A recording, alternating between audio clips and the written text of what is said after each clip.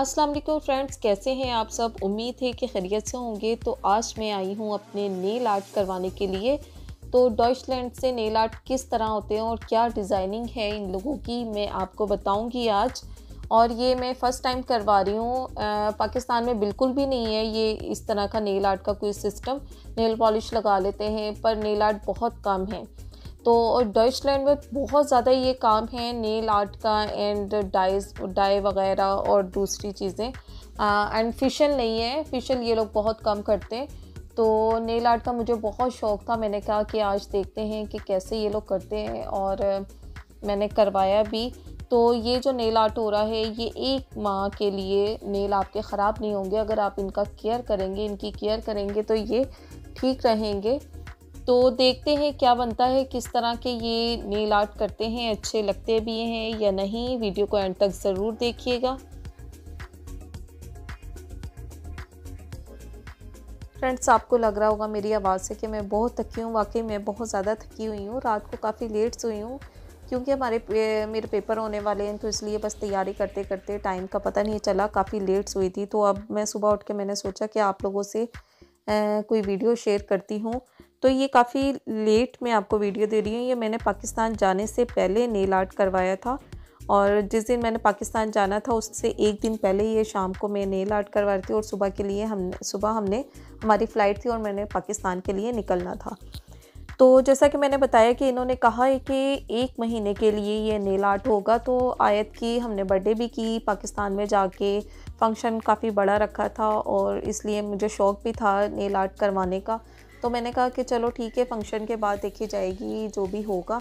But मुझे ऐसा लगा, ऐसे लग रहा था और आई थिंक सो ऐसा ही होगा कि इससे नमाज़ नहीं होती।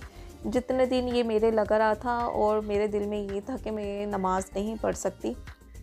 तो पंद्रह दिनों बाद फ़ंक्शन के बाद मैंने इसको उतारना शुरू कर दिया था। बट बहुत ही ज़्यादा मुश्किल से ये उतरा था। बहुत ज़्यादा मुश्किल से उतरा था और नेल भी थोड़े ख़राब हो गए थे इसके बाद। तो ये जो अन मुस्लिम हैं लड़कियाँ बहुत ज़्यादा यहाँ करवाती हैं। अगर आप ऐसा कोई सिस्टम किसी को शौक़ हो नेल आर्ट का तो नेल आर्ट सीखे और शॉप बना ले, अपना अपना कारोबार करना चाहे तो कर सकता है। क्योंकि डॉइचलैंड में बहुत ज़्यादा जगह जगह ये शॉप्स हैं और जब भी देखो इन शॉप्स में लड़कियाँ भरी होती हैं, नेल आर्ट करवा रही होती हैं और हर दूसरी लड़की ने नेल आर्ट करवाया होता है। तो मैंने ब्यूटिशन का तकरीबन हर चीज़ सीखी हुई है और शौक़ भी बहुत ज़्यादा, अपने शौक़ से ही सीखी थी।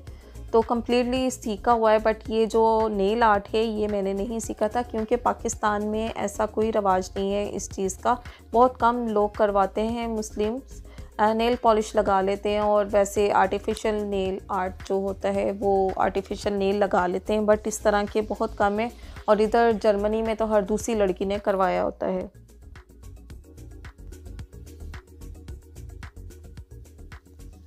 फ्रेंड्स हम दो साल बाद गए थे पाकिस्तान और यही सोचा था कि साल बाद ज़रूर चक्कर लगाएँगे बट ये कोरोना की वजह से हमें दो साल हो गए और पाकिस्तान से बस कॉल आ रही थी और यहाँ बच्चे भी बहुत ज़्यादा उदास थे कि हमने जाना है नानों से, दादों से मिलने के लिए और वहाँ से भी कॉल्स आ रही थी कि आप लोग आओ, इतना अरसा हो गया और बच्चों को और आयत को देखने का बहुत शौक़ था सबको और आयत को बस फ़ोन पे ही सबने देखा था तो इसलिए हमने स्टेप उठा लिया कि हमने कहा चलो देखी जाएगी, जो भी होगा लॉकडाउन तो ख़त्म हो चुका था बट ये कोरोना और ये जो सिस्टम है टेस्ट वगैरह का, ये अभी चल रहा है।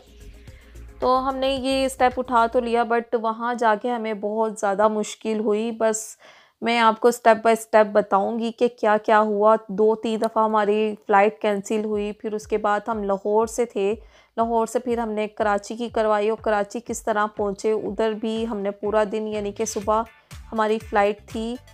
दो बजे की थी और दो से चार चार से छः छः से आठ आठ आठ बजे फिर हमारी फ़्लाइट वहाँ से कराची, लाहौर से कराची थी। कराची से दुबई दुबई से यानी कि जर्मनी। काफ़ी मुश्किलों का सामना करना पड़ा बट मैं यही आप लोगों से कहना चाहूँगी कि ये जो सिस्टम अभी चल रहा है, जो हमारे पाकिस्तानी बहन भाई जाना चाह रहे हैं, सोच समझ के जा, जाएँ। बहुत ज़्यादा मुश्किल है वहाँ। कोरोना का टेस्ट करवाओ, यहाँ से कोरोना टेस्ट करवा के जाओ और फिर फ़्लाइट्स वगैरह कैंसिल हो, ये सारा सिस्टम क्योंकि हमें तो मुश्किल का काफ़ी सामना करना पड़ा, क्योंकि बच्चों ने स्कूल जाना था, इनकी जॉब थी और मेरी ऑनलाइन क्लासेस तो हो ही रही थी, खैर, उनका उसका कोई मसला नहीं था बट काफ़ी सारी चीज़ों का हमें मुश्किलों का सामना करना पड़ा। वो इन मैं स्टेप बाय स्टेप आपको बताऊँगी बट मज़ा भी बहुत ज़्यादा आया। बच्चों ने इंजॉय किया। हम अपने घर वालों से मिले बहन भाइयों से, ख़ास तौर पे मैं अपनी अम्मी से मिली। और मुझे यही शौक़ था कि मैं जाके बस अम्मी से मिलूँ और अम्मी के साथ टाइम स्पेंड करूँ। तो ये इस बात की खुशी है कि ये चीज़, ये मेरी ख्वाहिश पूरी हो गई है। और बट जो मज़ीद मुश्किल का सामना करना पड़ा। वो अलहदा अपनी जगह बट मैं अपनी अम्मी से मिलकर आई हूँ। इसी बात की मुझे बहुत ज़्यादा खुशी है। ओके okay फ्रेंड्स बातों बातों में पता ही नहीं चला और मेरे नेल आर्ट हो चुके हैं। और मैंने सोचा कि ये जो मेरा फ़र्स्ट नेल आर्ट था मैं आप लोगों से ज़रूर शेयर करूँ और आपको दिखाऊँ कि इनका क्या तरीक़ेकार है और ये किस तरह करवाते हैं। कह रही ये पूरा लगवा लो। आधा अच्छा नहीं लग रहा है। यहाँ पर ही कह रही थी कि मैंने भी नेल आर्ट कराना है तो उसने नेल पॉलिश लगा के कहा कि इसमें हाथ रख दो और आपका नेल आर्ट हो चुका है। तो परी ने यहाँ ये बस नेल पॉलिश लगा के शौक़ पूरा कर लिया। तो फ्रेंड्स, हमारे जो न्यू फ्रेंड्स हैं हमारे चैनल पे, जिन्होंने हमारे चैनल को सब्सक्राइब नहीं किया, वो सब्सक्राइब करें एंड बेल आइकन के बटन को ज़रूर प्रेस करें ताकि हमारी हर न्यू वीडियो आपको सबसे पहले देखने को मिले। तो आज के लिए इतना ही, अपना बहुत ज़्यादा ख्याल रखिएगा, हमें दुआओं में याद रखिएगा। ओके, अल्लाह हाफिज़, बाय।